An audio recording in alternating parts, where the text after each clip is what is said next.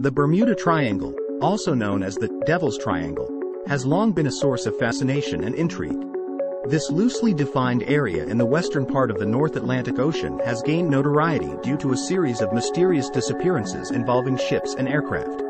The Bermuda Triangle's mystique lies in the unexplained vanishing acts that have occurred within its boundaries.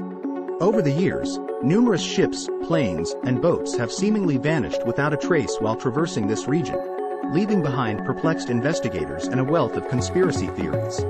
One of the most iconic incidents associated with the Bermuda Triangle is the disappearance of Flight 19 in December 1945. Five U.S. Navy bombers, collectively known as Flight 19, disappeared during a routine training exercise.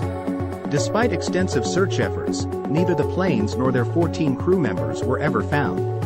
This event fueled speculation about the Triangle's mysterious powers.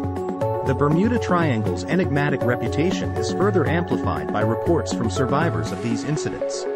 Some describe compasses behaving erratically, electronic equipment malfunctioning, and unusual weather patterns, adding layers of intrigue to the narrative. Various theories have emerged to explain the Bermuda Triangle mystery. Some suggest that methane hydrate eruptions could reduce a ship's buoyancy, causing it to sink rapidly. Others propose that magnetic anomalies or rapid weather changes might be responsible for the disappearances. However, these theories remain speculative and have not provided definitive answers. Despite the skepticism of experts who argue that the Bermuda Triangle is no more dangerous than any other part of the ocean, the allure of its unsolved mysteries continues to captivate those intrigued by the unknown.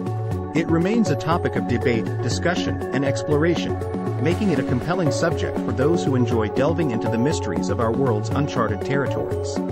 Comment your thoughts below.